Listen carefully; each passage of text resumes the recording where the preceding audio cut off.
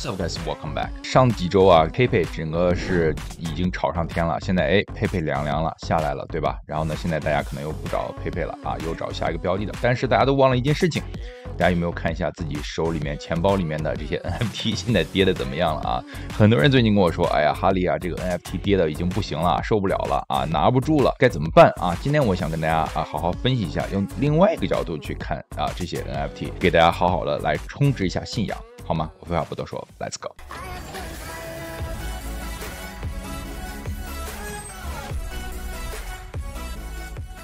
Hi, guys, welcome back。如果你喜欢今天节目的话，如果今天节目对你有点帮助的话呢？一定要在下面点个赞，把下面赞点烂，好吗？然后我今天所说的东西都不跟任何投资建议啊，都是我个人的分享。这个不知道大家有没有在小时候看过一个动画片啊，叫《宠物小精灵》，有的叫《宠物小精灵》，有的叫什么口袋什么小怪兽还是什么战士，英文是 Pokemon。好几年前嘛，它出了一款这个手机的手游，对吧？然后那个时候呢，也是风靡了全世界的，大家都出去啊，在手机啊，在哪里去抓这些小宠物，对吧？然后呢，还有一个动画片呢，也是日本的，叫《游戏王》，多多少少啊，没有看过的话也听过名字。都挺熟悉的。今天的话呢，想跟大家好好分享一下，就是说这些收藏品、这些卡牌现在能卖多少钱？之后的话呢，我们再来讲讲这些可以收藏的艺术品。然后呢，我个人觉得就是说，像这种东西是这种 physical 是现实可以拿到手里的这些东西。但这些东西既然价值可以买好几套豪宅的话，甚至上千万的豪宅的话，那为什么 digital 的就是虚拟的东西不行？我觉得其实是一个道理的。今天主要是想来给大家展示一下这些东西呢。在现实生活中，有了这些东西，可能一辈子吃喝都不用愁，或者能买好几套这个豪宅住。第一个的话呢，就是这个 Pokemon Pikachu 的这个卡牌啊，这非常非常简单的一个 Pikachu 的这样一个卡牌，它呢九十万美金被拍走。这张卡牌全世界只有三十九张，但是你看啊，这还是 fungible 的啊，它不是 non fungible，它不是 NFT，NFT 全世界一张一个只有一张，对不对？这个呢一共是有三十九张，所以三十九张都可以卖到九十万美金啊！大家可以想一下，这个已经是非常非常夸张了啊！再来看这张游戏王的卡牌，它是呢一九九九年首届。游戏王比赛的啊，这个独家的这个奖品，最后一次拍出的时候呢，它是一只独一无二的啊，就只有全世界只有这一个，它卖了两百万美金，就这一张卡牌卖了两百万美金。这卡牌有什么用？我不知道，就是可能在家里哎供着啊，对吧？我如果有一个，我可能放在我后面这个书架上了，但是。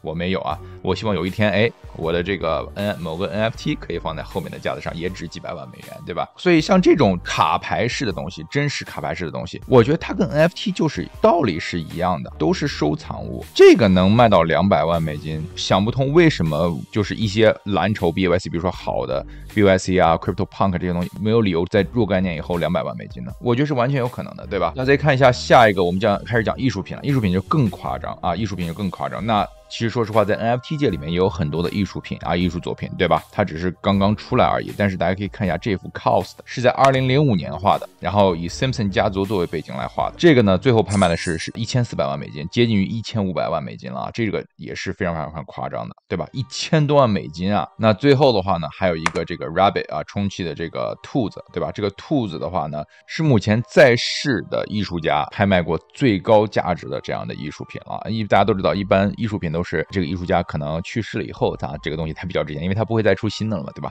但是这个的话呢，就是说他是在世的啊，最厉害的，拍卖价钱最高的，他拍了多少呢？拍了九千一百万美元，九千一百万美元，可以想想。是那是多少钱啊？这辈子没见过这么多钱。基本上这些东西呢都是拍卖到非常非常夸张的一件事情啊。那如果把这些东西呢都变成一个收藏品来说的话呢，它慢慢的总会回归到它的这个原本的价值的。之前的话大家都知道，其实 NFT 在前两年其实是一个泡沫了，现在泡沫破掉了，它慢慢的话能回到它本身的这样一个价值。因为这个市场呢永远是这个以供需和需求啊来掌握这个平衡的。那它跌到一定的价钱的话呢，它一定就会有一些人愿意进来。啊，购买最近的话呢，我也周边的一些鲸鱼啊，也开始慢慢问我，哎，哪一些啊，呃，NFT 可以进行购买，对吧？有一些这种 smart money 聪明的钱已经开始慢慢进来。那还有一点值得提的就是说，我觉得现在市面上百分之九十九的 NFT 项目呢。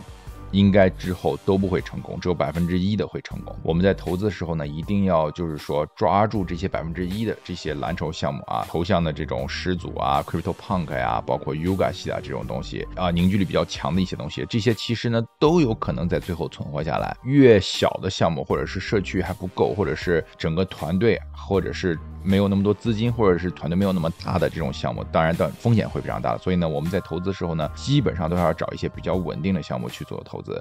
那最后的话呢，作为 NFT 角度来说，就是说我们作为一个 holder 来讲的话呢，就是我们个人一定要去喜欢这个东西。如果我们个人不喜欢的话，其实是很难拿得住的。很多人是为了炒，为了它增值，其实并不喜欢这些东西，也不混社区，也不跟社区的人交流啊，也不了解这个文化。他们买这个呢，纯粹是因为哦，这个能帮我去赚钱，那我就去买。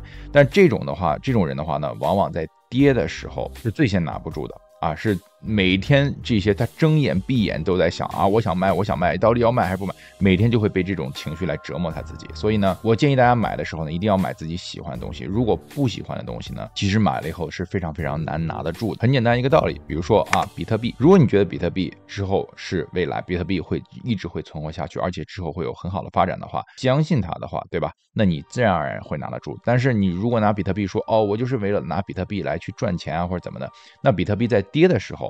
尤其是跌破你成本的时候。你很难拿得住啊，很容易割肉就跑了。那到最后又涨回来的时候，有可能你又没抓住这波机会，那最后还是错过了，对吧？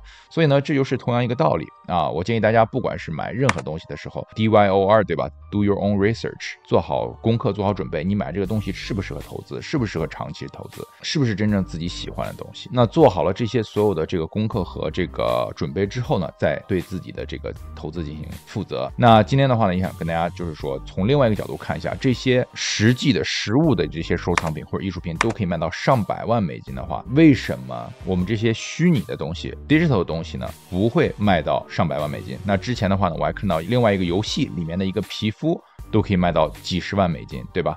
既然游戏皮肤也是 digital 的东西，也是虚拟的东西，它都可以卖到几十万美金，那这个东西在将来为什么不会有上百万美金的？这样一个潜力呢？如果你同意我的说法的话啊，在下面一定点个赞，把下面赞点烂，好吗？然后呢，啊，我想知道你们想法啊，请在下面留言，我想知道你们想法对 NFT 长期的一个看法到底是怎么样的？还没有订阅我频道的朋友呢，一定要订阅我频道，打开那个小铃铛，所以下次不会错过任何发片和直播的时间。我们今天就到这里了，希望给大家都充到信仰充到值，好吗？